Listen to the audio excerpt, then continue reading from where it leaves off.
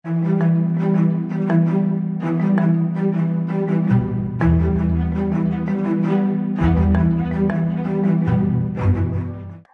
tak ada kabar, Wali Kota Semarang Heviarita Gunaryanti atau Mbak Ita muncul ke publik yang turut merespon penggeledahan yang dilakukan Komisi Pemberantasan Korupsi di kantor dan rumahnya pada Rabu 17 Juli 2024. Setelah penggeledahan tersebut, banyak yang mempertanyakan keberadaan Walkot Semarang.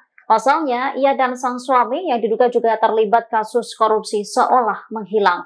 Lima hari setelah penggeledahan, Mbak Ita akhirnya muncul ke publik pada Senin 22 Juli.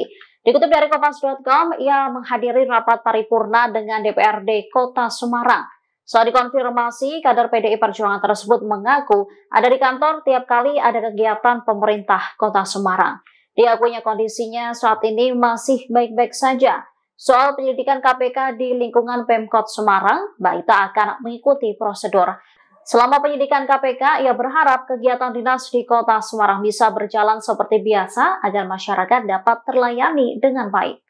Download Tribun X sekarang, menghadirkan lokal menjadi Indonesia.